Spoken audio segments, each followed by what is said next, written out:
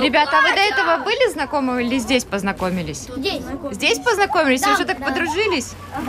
Они не умеют наигрывать страх и радость, плач и смех. Они – дети. И уже сегодня в пункте временного размещения они могут по-настоящему окунуться в детство, в котором есть все – игрушки, сладости и друзья. У нас э, есть э, в нашем пункте временного содержания, там последняя палатка, там есть все для детей. Игрушки, велосипеды, самокаты. Печенье, конфеты и мармеладки – настоящая сказка для любого ребенка. Эти вкусности по-настоящему зажигают глаза детей, а улыбку делают еще ярче. Вкусненькое постоянно, апельсины, яблоки, бананы.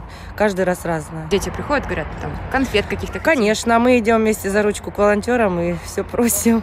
Закрыть глаза, заткнуть уши и бегать – естественная защитная реакция среди детей. С такими ситуациями сталкиваются психологи пункта временного размещения, но ни одного ребенка специалисты не оставляют без помощи. когда мы проработали с ним, почему нельзя закрывать э, уши или глаза, и как органы чувств наши помогают и подсказывают, где угроза, опасность реальная, а где она надуманная, почему наш мозг иногда подменяет это все. До этого он не мог понять этого и разобраться. А сегодня, когда уже вот после э, проработки ребенок понял, почему э, ему нужно давать органам чувств все-таки контролировать, видеть происходящее, у него уже сразу по- пошло улучшение, и за этим ребенком будет дальнейшее наблюдение моих специалистов. Уже даже после первого приема у психолога дети и их родители не приходят на повторный прием. Помогли с первого раза. Но не только моральная поддержка необходима жителям из сопредельного государства. Мне было холодно, дали куртку.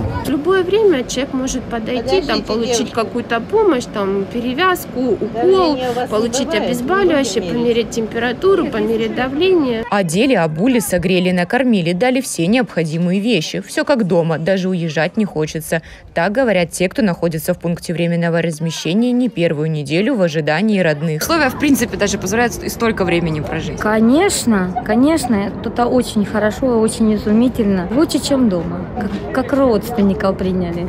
Разнообразные фрукты, блины с джемом, салаты. Кажется, что это меню в кафе. Но эти блюда дают жителям ПВР.